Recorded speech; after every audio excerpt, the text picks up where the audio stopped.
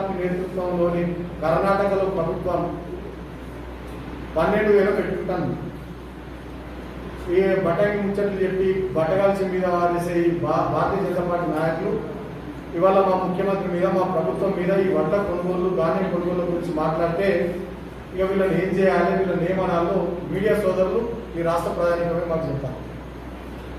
క్లియర్గా లిస్ట్లో స్పష్టంగా కనబడటం ఉంది. తెలంగాణ ప్రభుత్వం యాభై ఐదు లక్షల మెట్రిక్ టన్నుల ధాన్యాన్ని కొనుగోలు చేస్తే కర్ణాటకలో భారత భారతీయ జనతా పార్టీ నేతృత్వంలో ప్రభుత్వం పన్నెండు వేల మెట్రిక్ టన్నులు.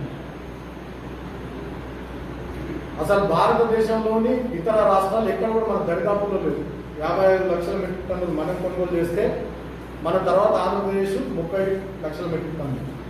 వాస్తవాలు ఈ రకంగా ఉంది జిల్లాలలో ఎమ్మెల్యేలు కానీ కలెక్టర్లు కానీ మంత్రులు కానీ మొత్తం వ్యవస్థ అంతా కూడా ఒకవైపు కోవిడ్కి సంబంధించినటువంటి పనుల్ని సరిదిద్దుతూనే ప్రజల్ని చూసుకుంటూనే ఇంకోవైపు ధాన్యం కొనుగోలు ఈ లాక్డౌన్ లాంటి సందర్భంలో కూడా ఎక్కడ ఆగకుండా చాలా సీరియస్గా ముందుకు పోతున్నటువంటి తరుణంలో ఈ చదువురాని సన్నాసులు ప్రజలంట ప్రేమ లేనటువంటి కొంతమంది పిచ్చి నాయకులు మూర్ఖులు ఎట్లా పడతారు ఇవాళ ముఖ్యమంత్రి గారి మీద మాట్లాడుతున్నారు. ముఖ్యంగా బండి సంజయ్ అనే ఆయన నిందిగా కట్టి కాదు. కాదు ఏనాడు ప్రభుత్వాన్ని నడిపించినోడు కాదు.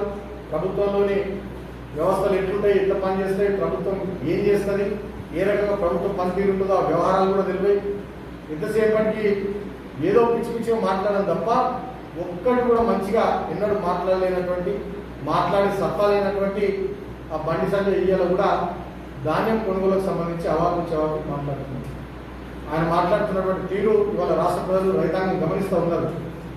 ఇటా ఒళ్ళు దగ్గర పెట్టుకుని మాట్లాడాలి బండి సంజయ్.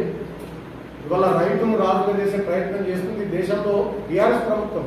మా ముఖ్యమంత్రి గౌరవనీయులు కేసీఆర్ గారు. ఎన్నడన్నా ఎవరన్నా ఈ దేశంలో రైతులను పట్టించుకున్నారా?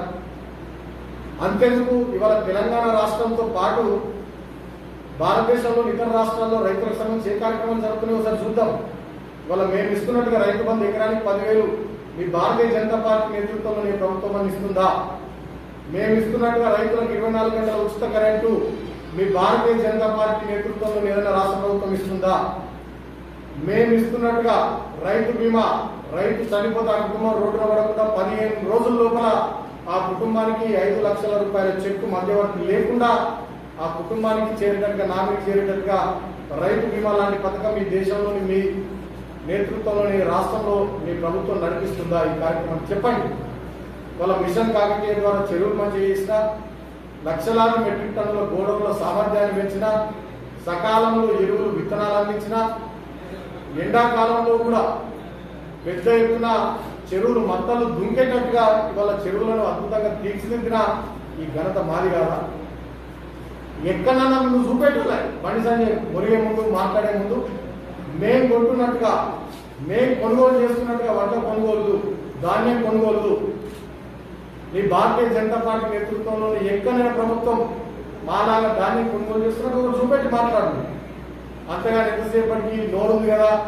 నువ్వు మురిగితే తిడితే మాట్లాడితే చూపించే రెండు నీ డబ్బా ఛానల్ ఉన్నాయి. ఒకటి నీ డబ్బా పేపర్ ఉంది కదా ఎట్లా అట్లా మురిగితే మాట్లాడితే రైతులు అసహించుకుంటున్నారు అనేటటువంటి విషయాన్ని సందర్భంగా తెలియజేస్తా ఉన్నాను. ఇవాళ రైతుల కోసం అన్ని రకాల కార్యక్రమాలు పెట్టి రైతు సంక్షేమమే లక్ష్యంగా పనిచేస్తున్నటువంటి నాయకుడు మా కేసీఆర్ గారు. వాళ్ళ టీఆర్ఎస్ పార్టీ మా ప్రభుత్వము మా కర్తవ్యము రైతు సంక్షేమం తప్ప మరొకటి కాదు చాలా సందర్భాల్లో మేము రుజువు చేసుకున్నాము. దానికి అనుగుణంగానే అనేక పథకాలు తీసుకొచ్చి పనిచేస్తూ ముందుకు సాగుతున్నాం.